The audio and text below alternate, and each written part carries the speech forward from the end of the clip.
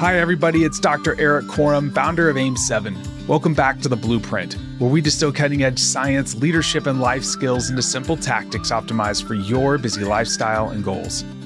I'm back today with Dan Uyemura, the visionary founder of Push Press, and he's back to share his raw, unfiltered perspective on the realities of entrepreneurship and growing as a leader. We dive into the importance of self awareness as a leader, how to effectively focus your energy, and why prioritizing personal health and growth is critical amidst the demands of leadership. Dan also shares his strategies for maintaining mental fitness, managing uncertainty, why you need a diverse group of people with different skill sets and perspectives to develop an elite organization. I loved my conversation with Dan, and I highly recommend you follow him on social media. His Instagram account is full of nuggets of wisdom. And if you're a gym owner, make sure to look at his amazing platform, Push Press. So let's get right to it. Let's lean in and learn from the best. Entrepreneurship is a grind and it's glorified and made out to be real sexy in the movies and on a lot of these podcasts, but it is really, really freaking hard. I relate it to placing your face on gravel and dragging it slowly for a long period of time. I talked to coaches because, you know, when I was in sports, it was like, coach was like, yeah, there's a lot of similarities between being a head coach and being a CEO. And I'm like, yes, but no. Let's say I walked into XYZ University, they have a facility, they have a budget, they have a staff already there that they can hire and fire, and they have a contract. When you start as an entrepreneur, you have none of that. And somehow magically, you're supposed to create something out of nothing. And so it really is like just a miracle when these companies succeed. In the midst of all of that, how do you maintain a strong focus on your personal growth and self improvement with leading a company that's growing really fast? And what practices have you put in place that maybe people could adopt in their own life? For me, here's the deal I'm a first time founder. Every day that this company proceeds is the furthest I've ever been into a company. I think having self awareness is the biggest thing. And I, I, don't think that's a problem for most first time founders because we probably waking up with imposter syndrome every day. But knowing that, I've just made it part of my job to understand that I have to outrun the train that's coming. And so it's just breaking down what does that mean, right? Learning how to be a good leader, learning how to be a good communicator. That was the first thing, learning how to be a good communicator. Mm. I think there's certain things that everyone's good and bad at that you can lean away from. For me, for instance, I'm a more of a visionary CEO. I like to dream big and try and get people rallied around ideas. I'm not really structured. I'm not a great organizational person.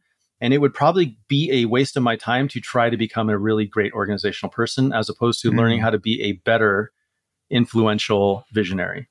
And so mm. that's why I'll spend more time working on taking communication courses or, or learning how to public speak or stuff like that, as opposed to trying to figure out how to run an OKR process. I'd rather just hire somebody who is just massively organized. That makes a lot of sense because now you're putting your energy in a place that's most effectively used. And a lot of times when your energy is going in a different direction, it just can drain your battery. Do you put guardrails around your day? Yes, totally. So, I mean, this is a newer concept for me because previously I consider myself to be pretty empathetic. So it's like anyone who wanted my time, I would give my time to. Doesn't matter who, what, where, when, why, give my time. I've actually started color coding my calendar with my assistant and now she has been given the keys to color code meetings as green, yellow, or red, hmm. meaning like good. So the green ones are things that like only I can do. I should be there. These are decisions that I have to make correct for my job. Yellow are things that I should be trying to find a replacement to do at some point, but right now I've got to do it. And red are this was a mistake. This meeting should not have, you should not be on this meeting. Someone else should have been there. So if I look at my calendar and I see a bunch of reds and I know I influence that, then it's like I've got to work with her to be like, you just got to start taking these away from me. Whenever there's a red on my calendar, I did it. That makes sense. What about health practices? I mean, you've owned fitness? gyms. Yeah, fitness. Oh, dude, super good question. So, I mean, everyone will probably go through this. There's a phase in your, you know, if I could play it back, there was a phase in all this where I was probably working out like four hours a day, not doing enough work. I might be coding for eight hours a day, but also like working out, hanging out, when I say working out, it's like I owned a gym. So it's like hanging out with my members, maybe coaching, working out yeah. way too much. Then there was this huge chunk of time where like I didn't work out at all. I was working 12 hour days, not sleeping enough, drinking like eight cups of coffee a day, really bad life patterns because I let what had to get done consume me. Mm-hmm. In the last, I would say, year and a half, two years, I've, and especially in the last six months, I've put a hold the standard on myself, which is like I get up every morning and I work out before I do anything. And if I can get a second workout in in the night, I prioritize that over anything else. Not over anything else, but over like watching TV, playing video yeah. games, or you know, just relaxation stuff. And same with my diet. There was a while where it's just like, well, I'm in a rush. I got to get whatever to eat. And now it's like, I need to prioritize myself, and my health is the centerpiece of that mental, physical, spiritual. We live in an unpredictable world with relentless demands and constant change. Resilience is the ultimate competitive edge. That's why I've created Adaptation, your guide for turning stress into strength and obstacles into opportunities. Every week, I send a free newsletter with cutting edge strategies distilled from the latest scientific breakthroughs and battle tested in the trenches of elite sport. From mastering your mindset to optimizing your physiology to engineering rapid recovery, Adaptation equips you with the tools to thrive under pressure and achieve your goals. Check it out. The link is in the show notes.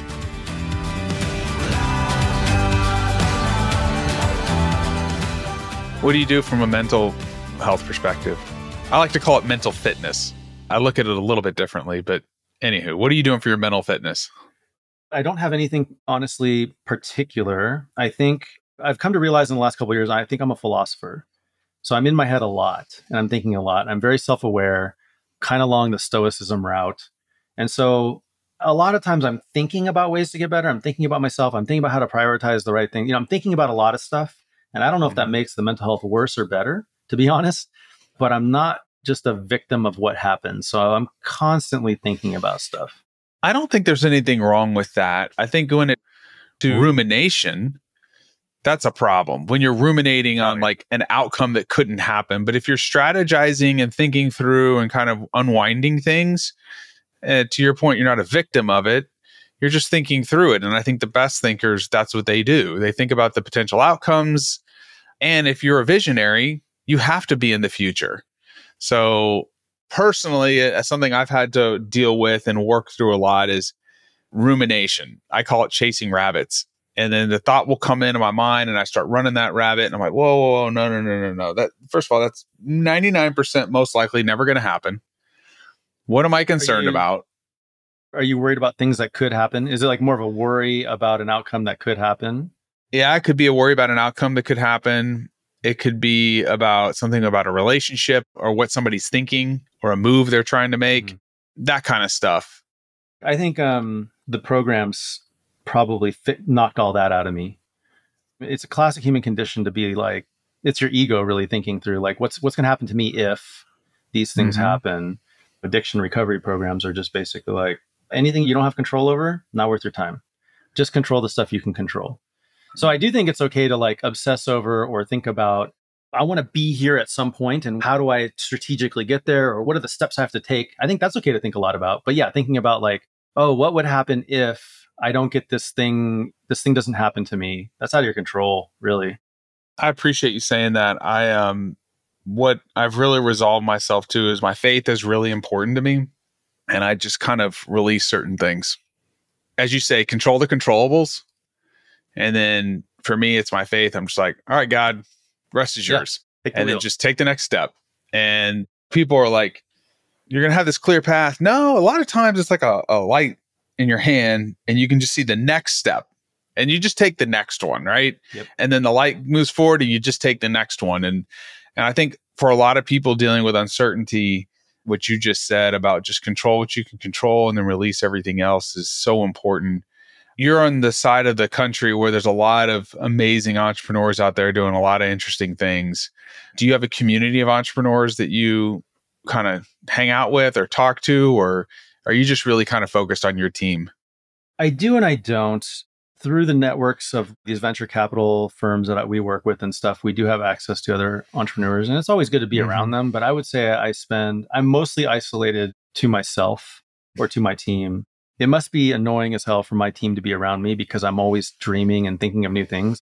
The world is infinite possibility. And if you're always thinking in infinite possibility terms, you're just going to blow yourself up. So it's probably good that I'm not around a whole bunch of those people. Maybe, maybe even by design. That's a really good point. If people want to learn more about Push Press, if they want to learn more about what you're doing, follow you, how can they get a hold of you? How can they check out the software? So PushPress is at pushpress.com, spelled like it sounds, pushpress.com. Again, it's gym management software for boutique, generally single owner operated or small business owners. Me personally, I do put out a lot of content on Instagram.